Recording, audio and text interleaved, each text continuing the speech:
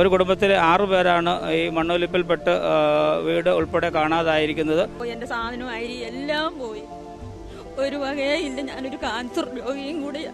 പിള്ളേർ കിടന്ന് കരയുമായിരുന്നു അരണ്ടൊക്കെ ഒരു രണ്ട് മൂന്ന് പേര് കൂടിയ ഒരു ബിസ്ക്കറ്റ് എല്ലാം കുഞ്ഞുങ്ങൾക്ക് കൊണ്ടു തന്നെ. ഇന്നലെ മൊത്തം പട്ടിണിയായിരുന്നു. മകളുടെ കൊച്ചുണ്ടായിരുന്നു. അതാ പെരക്കകത്ത് കയറിയപ്പോഴത്തേന് ഇടിഞ്ഞ് വീണ്. കുട്ടക്കൽ ഗ്രാമപഞ്ചായത്തിലെ മൂന്നാം വാർഡിലാണ് ഇന്നലെ ദാരുണമായ അപകടം സംഭവിച്ചത്.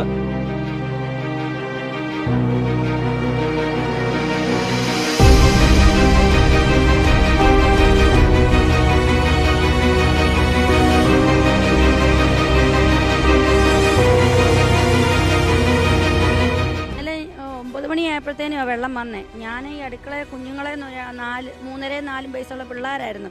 ഞാൻ ആ പിള്ളേരെയും കൊണ്ട് നിൽക്കുമ്പോഴാണ് അതുവഴി ഇതുവഴി ഒരുപോലെ വെള്ളം വന്ന് കയറുമായിരുന്നു പിന്നെ ഞങ്ങൾ ജീവനും കൊണ്ട് അങ്ങോട്ട് ഓടുമായിരുന്നു അപ്പോൾ അവിടുന്നും വെള്ളം. പിന്നെ ഞങ്ങൾ ഇത്രയും വെള്ളത്തിൽ ആ പിള്ളേരെ എല്ലാം എടുത്ത് മണ്ടേ കയറ്റിയേ.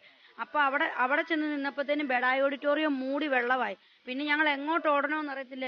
കണ്ട വഴി എല്ലാം ഓടുമായിരുന്നു ഞാനും രണ്ട് പിള്ളേരും ഉള്ളായിരുന്നു.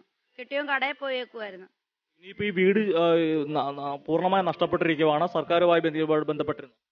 ഇല്ല മന്ത്രി ഇന്നലെ വന്നായിരുന്നു. കാര്യങ്ങളൊന്നും പറയാൻ പറ്റിയില്ല. എല്ലാം പോയി. ഒന്നുമില്ല. ഉടുതുണിക്ക് മറുതുണി പോലും ഇല്ലാതായിപ്പോയി കാരണം ഇനി ഇട്ടിരിക്കുന്ന ഡ്രസ്സ് പോലും ഓരോരുത്തരും ഞങ്ങൾ വാങ്ങിച്ച കുഞ്ഞുങ്ങൾക്ക് പോലും ഒന്നുമില്ല ഒരു നേരത്തെ ബിസ്ക്കറ്റിന് പിള്ളേർ കിടന്ന് കരയുമായിരുന്നു. അരണ്ടൊക്കെ ഒരു രണ്ട് മൂന്ന് പേര് കൂടിയ ഒരു ബിസ്ക്കറ്റ് എല്ലാം കുഞ്ഞുങ്ങൾക്ക് കൊണ്ടു തന്നു ഇന്നലെ മൊത്തം പട്ടിണിയായിരുന്നു. എതുവഴി നടക്കണോ എങ്ങനെ നടക്കണമെന്നും അറിവില്ലായിരുന്നു.